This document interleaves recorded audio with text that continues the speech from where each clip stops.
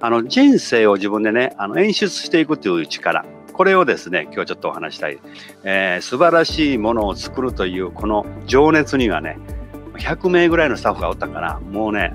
めちゃくちゃ凍え死ぬようなね、寒い寒い、えー、雨の降る中でもですね、えー、この舞台をこう作り上げていく、えー、その演者さんの一人一人の、まあ、なんていうかな、やる気というかな、それに僕らもね、感銘を受けて、で、メイクアップをまあしていくわけです。ヘアメイクをしていくわけですけどね。その中で感じたこと、もうこれはですね、自分を、えー、奮い立たせる、要は自分を演出していく、人生において自分をですね、えー、どう見せていくかというところにも、まあ、通ずる、えー、すごく勉強になることがあると思います。えー、40代の方を、右が、右がね、ちょっとブルーの方、こちらの方が40代のその若々しいメイクをさせてもらった。同じ人です。で、こちら逆の方が、えー、逆左側ね、70、80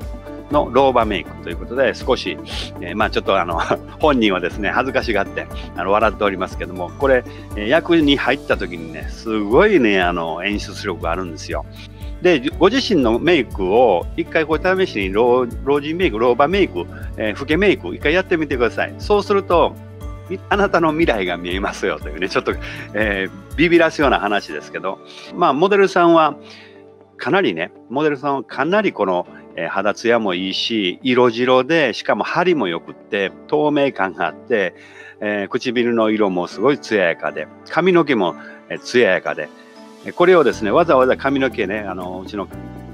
かみさんがですね、これ、ボサボサにしてね、え、こういうふうにしたりとか、それからその肌質もですね、どっちかというと、あのほうれい線とか深めにしたりとか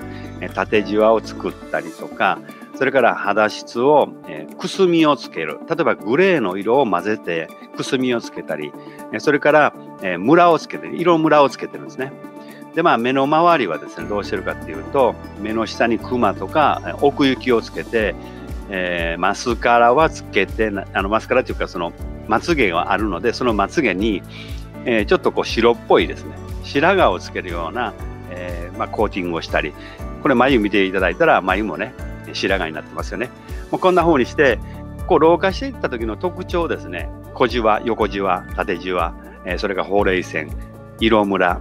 そういうものをどんどんどんどん入れてシミとかもこう作ってるわけです。40代の方が70、80のメイクをされた途端にどうなるかっていうとね、腰曲がるんですよ。もうあの人に会う時にちょっとペコッとしてこう下向きながらで話もすごくこうスローになったりっていうねそれはねあの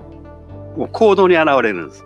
わかります？あの、一回ご自身でやってみてください。本当にちょっとテンション下がって、ネガティブになって、あ私老けたらこんななんねやったら、肩を下ろしたらこんな感じになる。で、喋り方も、なんか、なんかこんな感じになってますね。村田さん、こんなの言いました、みたいなね。覇気がなくなるわけですよ。で、それはどういうことかというと、っていうことはですよ、逆にですよ、今、ご自身がな40だったら、たとえ2、3でも3つでも若々しくなる、そういうメイク、そういう演出を自分でできれば、周りに対してもそれが、どんどんどんどんこの、えー、エネルギーとして発信できるわけですね。そうするとやっぱり人っていうのはやっぱ輝いている人に集まってくるしやっぱり若々しい若作りじゃないですよあの40、50やのにこう若い子に負けて、あの負けてたまるかって言って若作りしてる人のこと言うてんちゃいますね。若々しいっていうのと若作り違いますからね。要はその年齢に応じて少しこう、えー、若々しく見える。このポイントがすごく大事で、40代、50代の方のこの間もお話したんやけど、やっぱりアラフォーアラフィフのその魅力というものを消さずにして若々しく何か目標に向かってキラキラ輝いてると。こういうイメージにですね、自分を演出できれば、本当に人が集まってくる。これ仕事してる方で言うと集客力がアップして売り上げも上がるというね、もう本当にあの人に人が集まるということは、これはもうまさしくそうです。だから昨日も演者さんを見てて、あ、この演者さんがなんで人気があるかっていうと、それはもちろん自分のプロ魂っていうか、自分にこだわってる、プロ意識で頑張ってるのもあるんだけど、やっぱりその方のこう出し方っていうかね、見せ方っていうのは非常にね、やっぱりうまい。うん、それを僕はあの、本当に勉強させていただきました。